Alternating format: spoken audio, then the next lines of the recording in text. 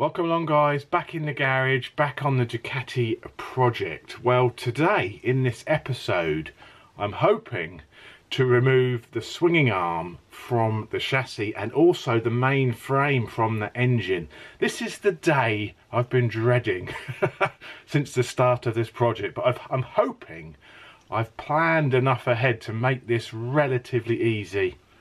I really hope so. Roll the intro. Is this going to help, Governor?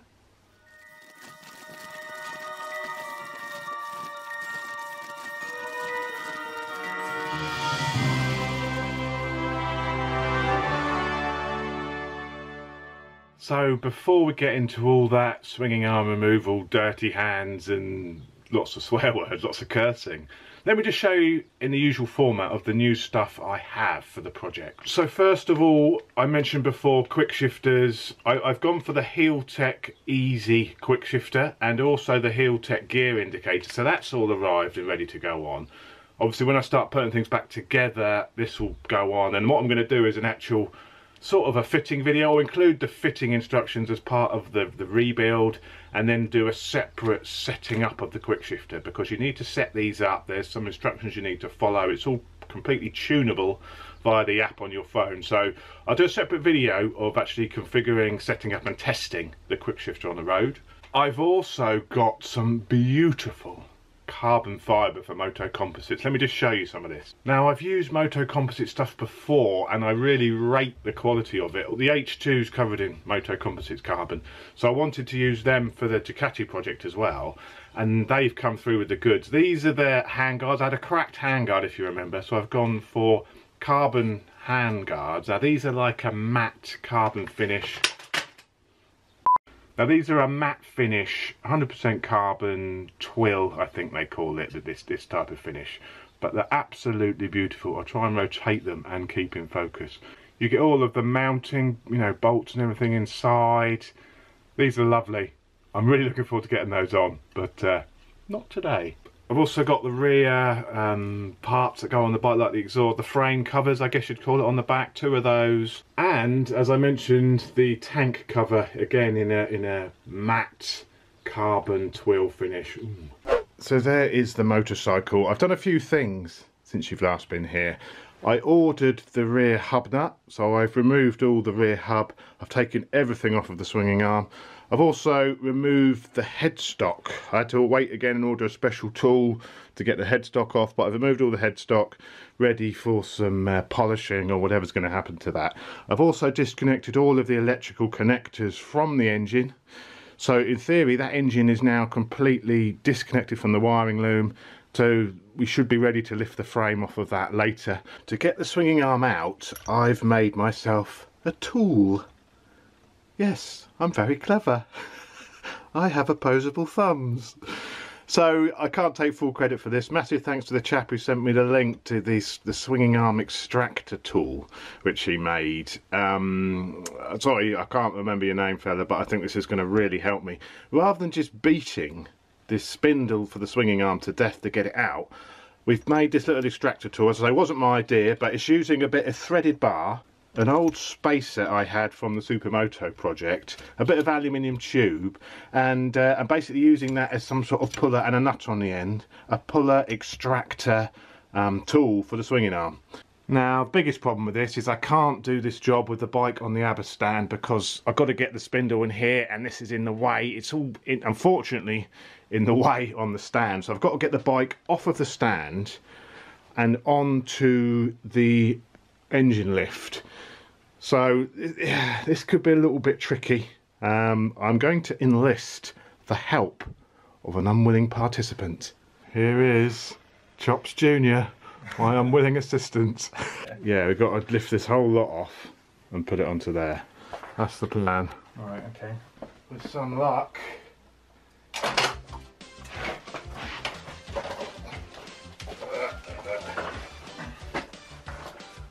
Oh, look at that. To me, to you, to me, to you. So this is the video which was very kindly shared with me.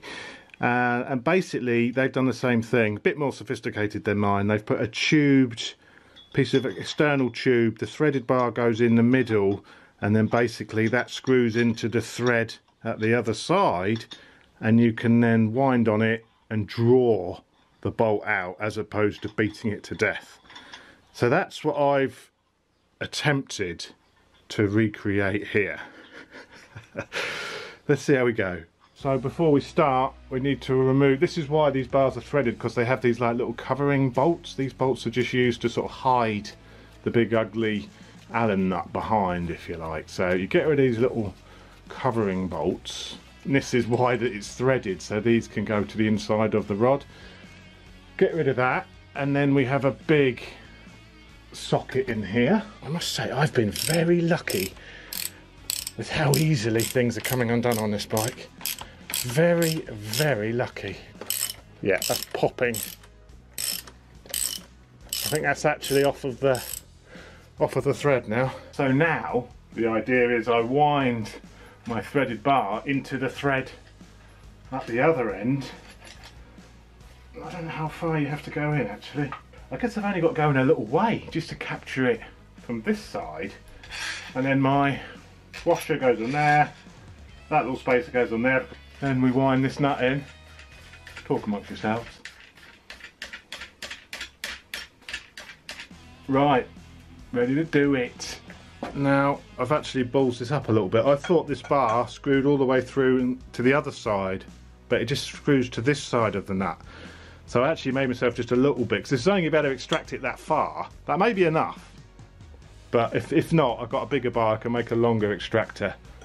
Hmm, yeah, I should have done that. Oh well. Call this the Mark 1 version. And then basically, I should just start winding on this. And that should pull that out.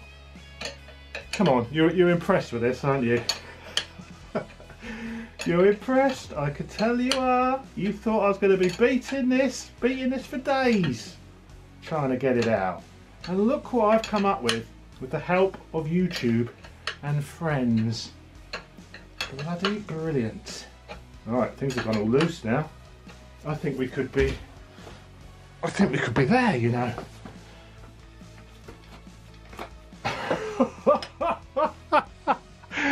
Look at that! It only worked! And this should now lift out of here. It's going to upset the balance of my whole bike, isn't it? Ah, come on out! Look at that! Ah, oh, I love it when a plan comes together. Where's some cigar? He loves it when a plan comes together. What I'll do, I'll just put a few details about this little thing I made in the description if you want to just know what size rod you need, pitch, etc etc so uh, and I'll link to the items I bought to make this it cost me about 20 quid this I think I'll make I can make an extend I should have made that longer that worked fine it was out by the time it pulled it out through here it was out but you could make that longer in case yours is tighter I may make a longer bit of tube and keep this as a tool for moving the swinging arm it may work for other bikes as well I'm dead chuffed Okay, so I've just done a slight rejig of the strapping to hold it further down because now the swinging arm has gone, the, the centre of gravity shifted and it wanted to swing forward again. So I've just restrapped it differently. Now I'm going to take off the rear sets um, so it clears access to the frame a bit more because the rear sets sort of tuck right round behind the frame. If I'm going to lift the frame off, I want to make sure it's as clear as possible.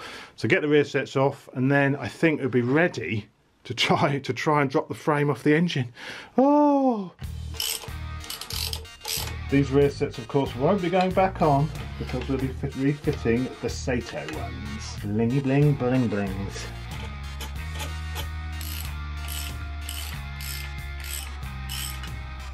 They're done with. Ah, there we go. Rear sets off, frame is now clear here. I think I think it's just hold on held on with some spindles, a bit like the swinging arm underneath these rubber caps. The whole thing should then hopefully just lift away, revealing the engine. Maybe time for my unwilling assistant. Get your rubbers off. So this should be a simple matter of just undoing the bolt.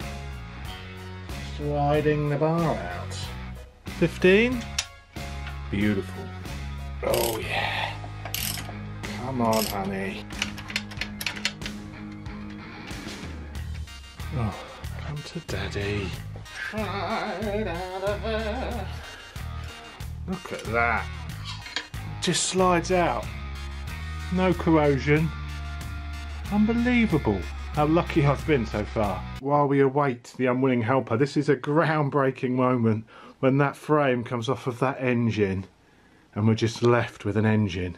Then that's the point where we start cleaning, we start rebuilding, we start putting things back together in better condition. I'm looking forward to start sanding the engine down, getting it cleaned up, getting the casings off, get them sent off to factory projects to be cerakoted, and then start putting things back together beautifully.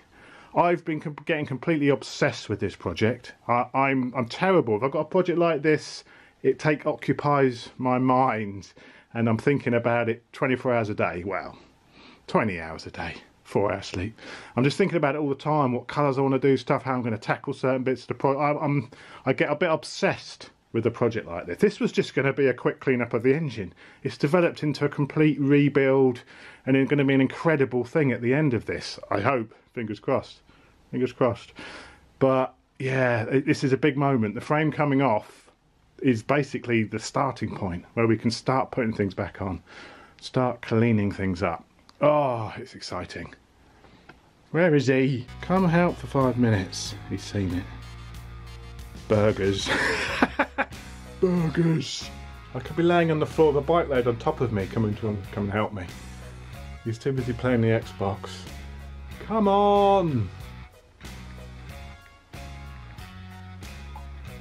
Here he is. Uh, and then I should. Uh, on the floor down here, yeah. Oh, beautiful. Beautiful. Brilliant. Yes, I. Thank you.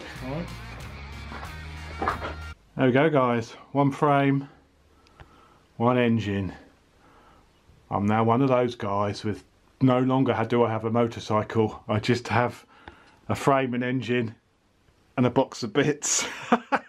I used to have two bikes. Now I'm one of those people with just a shed full of bike bits. but there it is, the engine the engine. I can now concentrate on taking bits off of the engine. Well, not too much. Well, the, the oil feeds and the oil cooler. What I'm going to do next episode is start getting my sanding discs out, cleaning up all this horrible paint which is flaking off. Put the, obviously, you know, mask things off. Put the first coat of primer on. I'm just going to prime and paint over all these casings and then take them off at the end and then send them off to be blasted and cerakoted. So there we go. Next episode we will start prepping this engine for paint, taking the last few remaining bits off of it. It's gone really well. I, I can't believe how easily this bike came apart. I, I, don't. I was. I've bought myself impact drivers, all sorts of blow torches, to just get undone stubborn bolts, but I've not really found any. There was one on the rear caliper where I needed to get the blowtorch on it. That was it, and that came out relatively easily. I've been so lucky with how this bike's come apart. I think it just goes to show it's low mileage. Uh, you know, it's never been apart before, so everything is done up to the correct torque from the factory. So there's no gorillas been working on it over tightening things. Well, until now anyway. but there we go guys, thanks for watching. Next one, things are going to get a bit more technical and less just taking things off. I'm going to have to use my brain and try and remember how this bike goes back together at some point. Hmm. I will probably need the service manual for that. but thanks for watching guys, take care, I'll see you soon.